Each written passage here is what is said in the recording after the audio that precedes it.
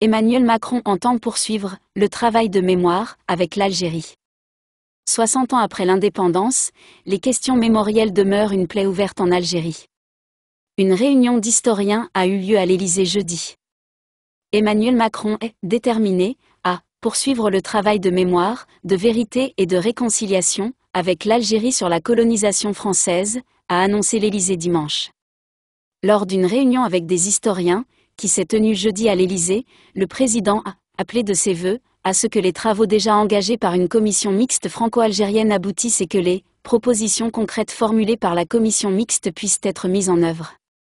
Il souhaite, a précisé l'Élysée, que ces propositions permettent à notre pays de porter un regard lucide sur le passé et de construire, dans le temps long, une réconciliation des mémoires, dans une démarche d'éducation et de transmission pour les jeunesses françaises et algériennes.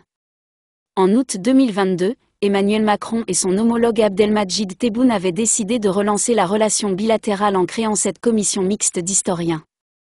Mais ce travail de mémoire, déjà engagé auparavant côté français par l'historien Benjamin Stora, reste suspendu aux tensions diplomatiques récurrentes entre les deux pays. Seuls les membres français de la commission mixte étaient d'ailleurs présents à la réunion. Le récit national sur la guerre d'Algérie est toujours omniprésent dans la vie politique algérienne et la nouvelle brouille avec le Maroc sur le Sahara occidental complique à son tour la résolution des questions mémorielles, qui restent douloureuses 60 ans après l'indépendance de l'Algérie. Le 20 août, le président Tebboune, réélu depuis, n'a pas manqué d'y faire référence lors de la journée du Moudjahid, combattant, en rappelant le passé colonial d'une France qui, croyait pouvoir étouffer la révolution du peuple par le fer et par le feu. La relation bilatérale tumultueuse avait déjà connu un grave coup de froid à l'automne 2021 quand Emmanuel Macron avait qualifié le régime algérien de système politico-militaire construit sur la rente mémorielle.